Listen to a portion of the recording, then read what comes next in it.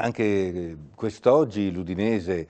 eh, si è presentato in campo con una grande voglia di vincere, ha iniziato la partita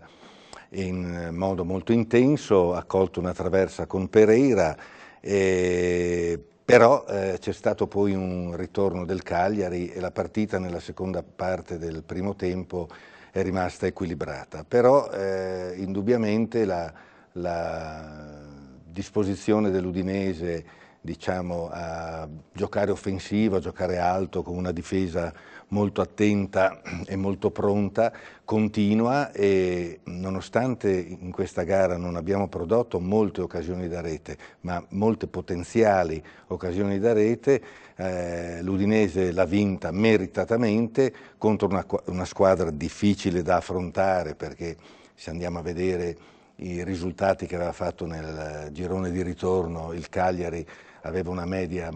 molto interessante e ha vinto, come dicevo, meritatamente, nonostante non abbia avuto molte occasioni da rete. Però il gioco si sviluppa con una certa facilità, ma soprattutto c'è sincronia nei movimenti difensivi in mezzo al campo, la squadra è quasi sempre compatta e dopo aver colto la traversa all'inizio con eh, Pereira, come dicevo, un po' non è calata, ma io credo che sia cresciuto il Cagliari, il secondo tempo invece è partita sprombattuto, c'è stato il cambio, poi l'ingresso di Muriel al posto di Zelinski e, e ovviamente i pensieri sono diventati diciamo, un po' catastrofici nella panchina del eh, Cagliari dal momento che Muriel come al solito crea grande scompiglio. Ha fatto un bellissimo gol eh, Pereira, che ha giocato anche un'ottima partita e eh, ha risolto, mm, ha risolto la sfida e ha fatto ottenere all'Udinese il quarto risultato consecutivo pieno, cosa estremamente interessante perché come tutti sappiamo il successo rinforza il successo e questa squadra ci sembra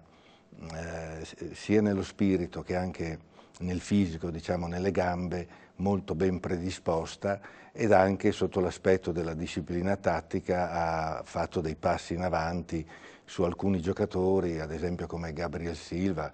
Allan che già si, si, ripropone quasi sempre, lo stesso Dusan Bast è tornato in condizione eh, diciamo eccellente, eh, un po' opaco invece eh, il capitano Di Natale, ma questo può capitare anche se ovviamente crea sempre il panico e la grande attenzione delle, delle difese avversarie. Eh, io ritengo che eh, l'Udinese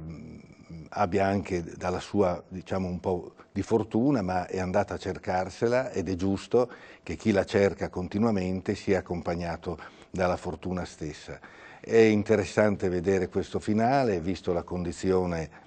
eh, dell'Udinese così brillante e vedere fino a che punto nella classifica può eh, arrivare questa rimonta che ad un certo momento era un po' insperata. Eh, ripeto quello che ho detto prima, noi eh, pensavamo che avrebbe fatto lo stesso una classifica eccellente, ma adesso ovviamente eh, sta andando oltre ogni rosea previsione. Eh, sono estremamente curioso di, di, vedere come finiranno queste quattro partite e sono molto contento di vedere delle belle partite giocate bene, direi per quasi tutti i 90 minuti, ma sappiamo che un certo ritmo non si può mantenere per 90 minuti, ma possiamo dire che a livello del calcio italiano attuale l'Udinese sicuramente è una squadra d'elite per il gioco e anche per la classifica. No?